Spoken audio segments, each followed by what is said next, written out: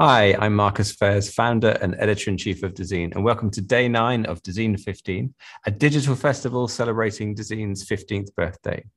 For this, we asked 15 creatives from around the world to come up with ideas for how to change the world for the better over the next 15 years. Each day, one of them will be presenting their manifesto for a better world. Today, we're speaking to designer Jalila Essaidi about her proposal. Hi, Jalila. Hi, Marcus. How are you and where are you? Where are you speaking to us from today?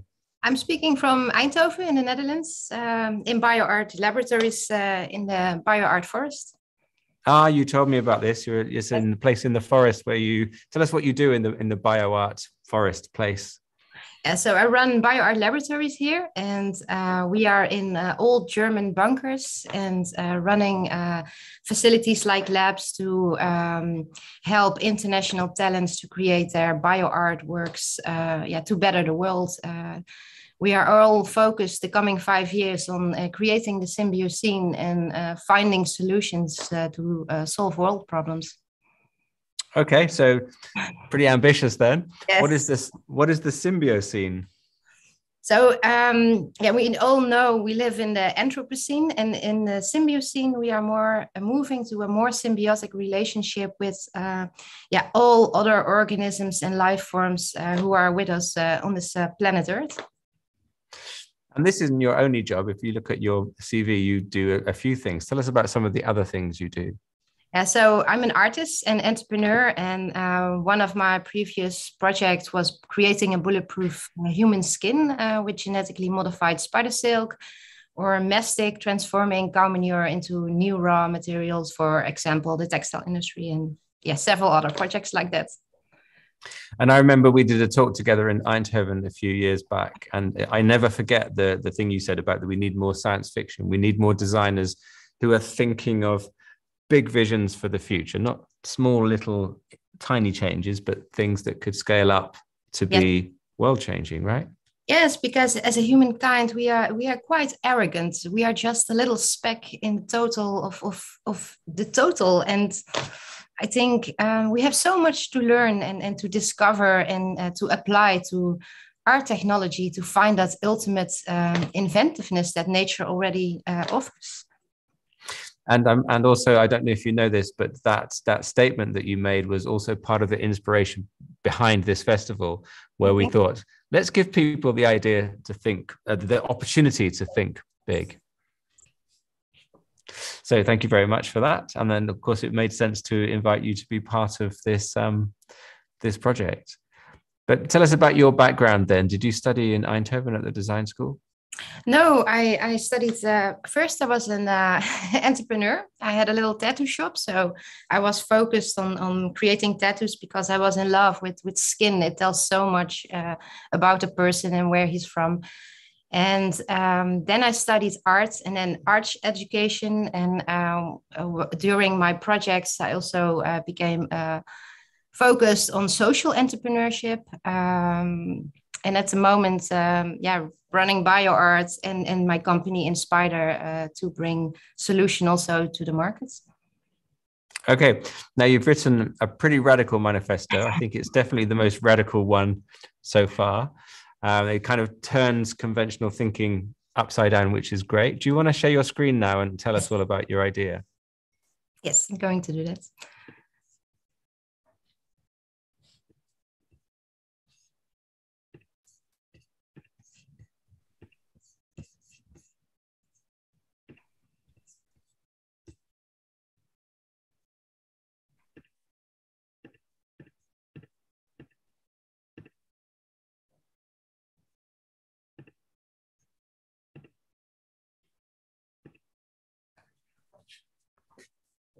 Okay, can I start, Marcus? Yes, please go ahead. Sorry, I should have said yes, we can see that. okay. Consumerism, materialism, and waste. A bizarre disruption of ecological thinking has seized our thought process. The ecological vision of apocalypse, a vision fueled by current environmental threats that have dominated recent news headlines. Since the beginning of the 60s, eco communities predicted a new phase for this planet. transitioning people from an era of abundance to one of scarcity. The most radical thinkers among them advocate for a no growth society, depopulation, and de development, warning us to make voluntary adjustments now in order to avoid making involuntary changes later. This apocalyptic distortion of ecology treats nature in a unnatural way. As a nurturing mother, a protector of the Garden of Eden, a garden which our consumerism, materialism, and waste has destroyed. A garden which she will bring back if only we get rid of our pollutants and waste. Driven by nostalgia or the emotional distress caused by environmental change, this form of thinking might make sense. But if you look at the bigger picture, this idea cannot be further from the truth. Nothing is more indifferent to the sanctity of its environmental than nature, especially life. It is the essence of life to consume and produce waste. Over billions of years, countless amount of bacterial trash producers and litter, litter, litter scatterers with their environmental indifference and reckless irresponsibility have soiled this once pristine landscape. This soil, this layer of garbage, this trash coat of ever increasing complexity is what gives this planet its very name, Earth. Life has littered this place with hundreds of meters of its tubes, shells, layers, and its unnumberable pollutants and poisons. A trash coat that we are not recognizing for what it is. A trash coat that often ironically represents the pureness of nature, like the pristine white cliffs of Dover, which in reality are a 100 meter tall natural garbage pile made out of the remains of tiny algae. Yet, one's trash or poison might be another's paradise, like what happened with the deadly byproducts of an ancient cyanobacteria, oxygen. Driven by an inventiveness that builds anything humans have ever accomplished, it's nature that turns these poisons into pistons of exotic engines that should never have been. Through this inventiveness, this outrageous, irresponsible trash of the first generations turns into the treasure of which a second generation thrives. You would think, in light of this all, that combining self aware life with this inventiveness would act as a catalyst. Yet it is clear in our design approaches that we are still lacking the understanding of this resource. We are designing products with increased longevity, processes that are less polluting, products which are repairable, products that are reusable, processes that are recyclable, and products that use less packaging. All of these sustainable design strategies might seem to make sense in our current system, yet they merely pass on the problem to the next generation accomplishing nothing more than postponing the inevitable, the total assimilation of the anthropogenic effects, processes, objects, and materials by nature. The only way to achieve this assimilation while humankind is still around is to tap into the unknown potential of this resource called inventiveness. Much like the black box of artificial neural networks, which is ruled by the presence of chaos with high degrees of freedom. We are starting to grasp that inventiveness is not purely driven by logic and reason, but also by a factor that cannot be interpreted. To incorporate this knowledge into design, we need a total different mindset and a new design approach. We should design for the maximal probability of nature doing something outrageous. And nature is already misbehaving producing fungi that decomposes radioactive materials and bacteria that can eat plastics. This mindset should no, not have to offer any direct solutions. However, it should set the stage for an increased probability of nature interacting in novel ways, accelerating nature through design just like how in the biomedical field, material surface topographies are optimized for cell adhesion using evolutionary algorithms. We should design to optimally allow chaos to form potential symbiotic relationships with our trash. Design not only with the human end user in mind, but design that is mutually dependent on and benefits the health of all ecosystems. Design through which consumerism, materialism, and waste equip nature with the diversity of threats it needs to work its magic faster. And to give rise to the new era of the symbiocene. Thank you. Do you want to unshare your screen now? Yes. Powerful stuff. And um, I don't think I've ever heard anyone refer to the White Cliffs as Dover of Dover as a hundred meter pile of trash. but it is. that wasn't in your manifesto. You must have thought of that at the last minute as a nice provocation. So, so are you suggesting that? First of all, it seems like you're suggesting that this whole movement to try and remove waste, eliminate waste streams is misguided because you're almost saying that waste streams are a feedstock for the planet in a way, just a slightly different feedstock from what it's been used to for the last few million years. Well, I'm not saying that it's misguided, but um, if we look at it from a bigger perspective um, and look at nature, it, it's already doing that. And um, if it's not happening now, I think in a hundred million years, nature will solve all those problems. But um, if we still want to be in that rat race as a humankind, uh, we have to take these little steps and uh, um, try to deal with these problems and try to find little solutions. But uh, in a way, I'm saying, yeah, nature nature is already doing it and, and can solve this with us or without us. yeah, with us or without us. But it might take 100 million years, which is sort of in, in, in nature's time frame, that's a blink of an eye. But in human time frame, that's quite a long time to wait. But but so are you what are you saying that designers should do then? That they should abandon attempts to be sustainable, they should abandon attempts to be circular and carry on polluting? No, I, I think they should make use of, of this natural, uh, of nature's inventiveness. For example, um, we are producing these bottles in mass, but think about the option of producing these millions of bottles and every bottle individual with a, a different use of material. And um, that we detect them and that uh, when a person finds the perfect uh, surface that is in, in, in, in symbiosis uh, and breaking down, that we should research that further to come to that perfect solution um, um, yeah, that nature is going to offer us through its inventiveness. And that's not only driven by logic and reason, but it's also um, in, in the serendipity, in the intuition of nature. And um, yeah, we still have to discover a lot about that. And I think designers should help uh, nature a bit by uh, thinking, yeah, in, in a way, not in mass producing, but in um, um, mass evolutionary research and, and adding that uh, yeah, to the table. You use this word near the beginning of your manifesto, um, solastalgia. Can you yeah. explain to us what that means?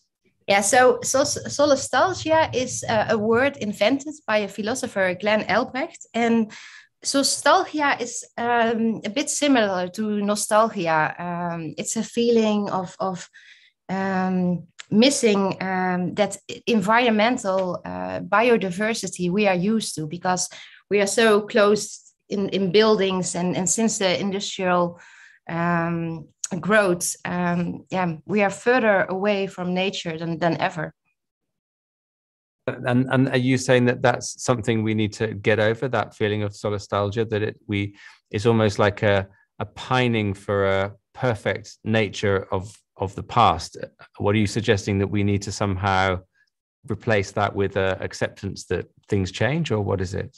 No, no, we should stimulate uh, biodiversity because the solution is in nature, in the biodiversity. We need to offer nature as much uh, materials, other living organisms as possible to tap into that um, yeah, inventiveness uh, of nature. But does that include um, toxic um, materials that nature might take a very long time to figure out what to do with. You gave the example of how certain biological reactions produced oxygen, so it was something toxic became something vital. But is there a limit to the kind of poison that we can chuck at nature and expect it to deal with it? Well, Marcus, I don't have any answers on that because um, that's why I'm focusing the coming five years with BioArt Laboratories on the Symbiocene to find those solutions.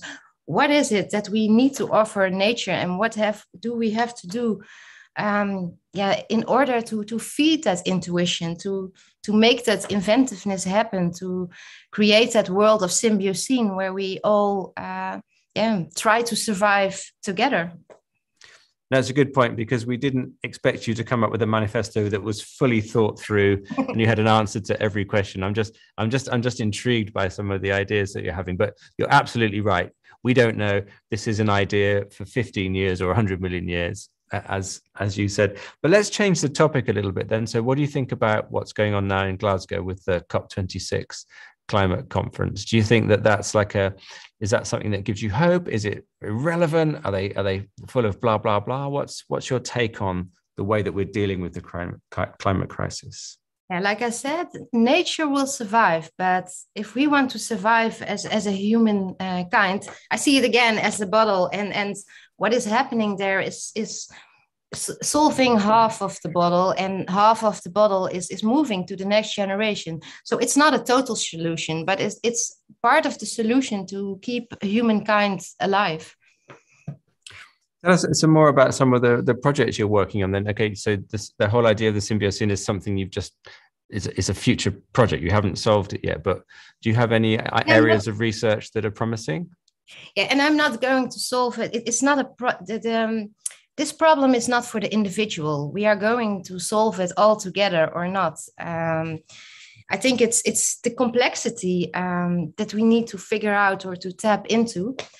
Um, yeah, and, and my biggest project at the moment is still BioArt Laboratories, uh, working together with all these uh, young, promising talents from all over the world um, to see what kind of solution ideas they have to, uh, yeah, to to stimulate this uh, inventiveness to come up with solutions um, that maybe do not fit with the capitalistic system we are living in now. But I'm believing that we are at uh, a cross point um, that, that systems are going to tip and change. At least I'm hoping on, on that. yeah.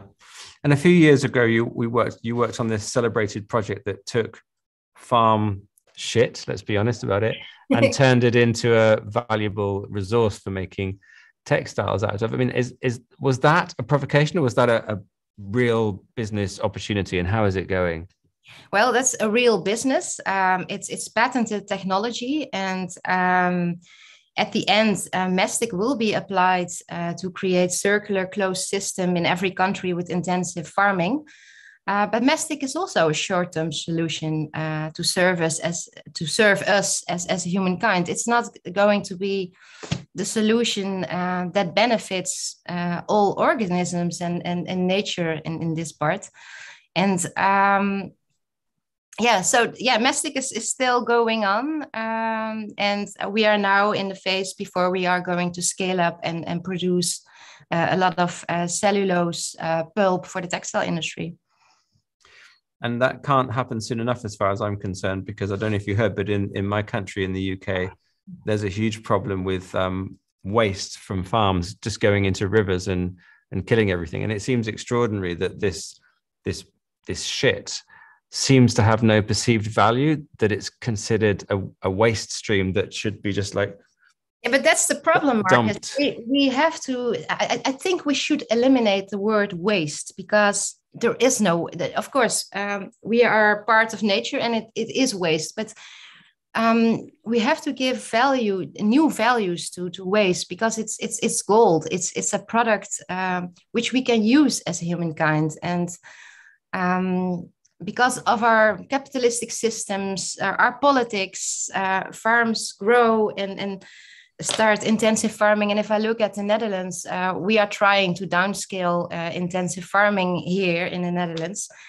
Um, but it's every time very short time um, thinking uh, from the political perspective. So every four years we have new leaders and they decide on, on do we need to scale up? Do we need to scale down? And now we have uh, those climate goals uh, we have to achieve together. but in a way, nature is not looking um, on that with that logic and reason we are doing as a humankind. Um, and, that's why I think it's, it's very important um, um, that we learn from the inventiveness of nature and think long, long term and not every time in, in those boxes and in the short term ideas of solution. Of course, they help for the short term, but the real solutions are, are in the future. And yesterday I was talking to a guy who was cutting down some trees in someone's garden. And then he was using a big machine to turn the branches into little chips of wood. And then he was putting them in his truck and he had a truck full of these wood chips. I mean, it must have been, I don't know, 10 tons or something like that. And I asked him what he was going to do with the chips. And he said that he has to, he drives them to this place in the countryside and then he gives the chips to this other company and he doesn't get paid anything for them, which seemed extraordinary. Like tons of biomaterial that he just has to give to someone else. I don't know what they did with them, maybe fuel or maybe for people's gardens or something like that. But it seems an incredible waste of an amazing resource. Yeah, um, it's the same with the manure here in the Netherlands. Farmers are getting paid eight euro per per ton, and um, the manure is driven free to them. So I, I remember in the beginning when I started with Mestic, every investor uh, thought about that. So you get eight euro per ton, and the material is brought to you by free. Yeah, that's that's a huge opportunity to make a lot of money. But if you think about the total circle, if you really want to solve a problem, um, it's not only about the impact economically; it's the impact on on every area, and um, it's not going to be the solution. Yeah of course for the investors and the money but not for us as a humankind. So what other things tell us some other things that you're working on then. You, you said that you're you're an entrepreneur. So do you have any other business ventures that that are addressing these problems no, that no, you can tell us about? no, I, I, wish, uh, Marcus. Of course, there are a lot of ideas, but there is so much time in a day or in a week.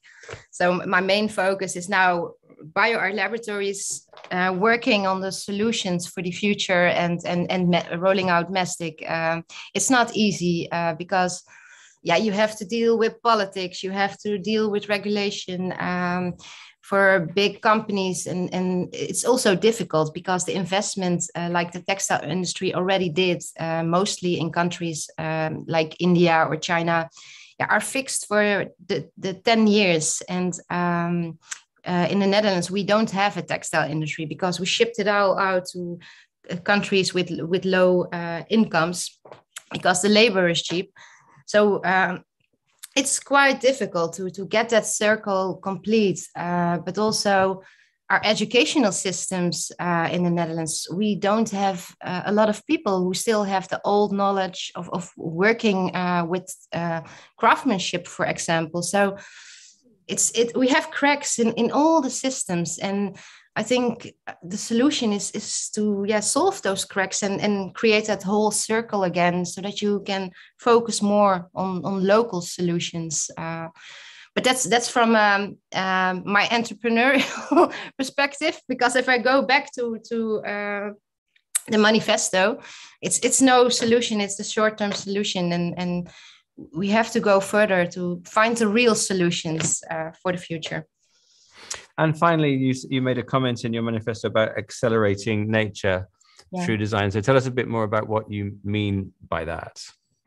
Yeah, I, I tried to explain it, but for example, this this bottle. Um, if we look at, at at our companies, they are making millions of those bottles, and an idea could be that they make millions of uh, bottles with different surfaces and that you tag them and um, that you um, make a prize of, out of it that the person who finds the bottle who is decom- decomposing the best uh, wins a prize and then uh, with that knowledge you can again make a million different bottles and yeah still keep feeding uh, that inventiveness of nature um, in, in breaking down, for example, this plastic to find yeah, the right solution. Um, and in that way, yeah, feeding um, nature materials to experiment with and to get smarter.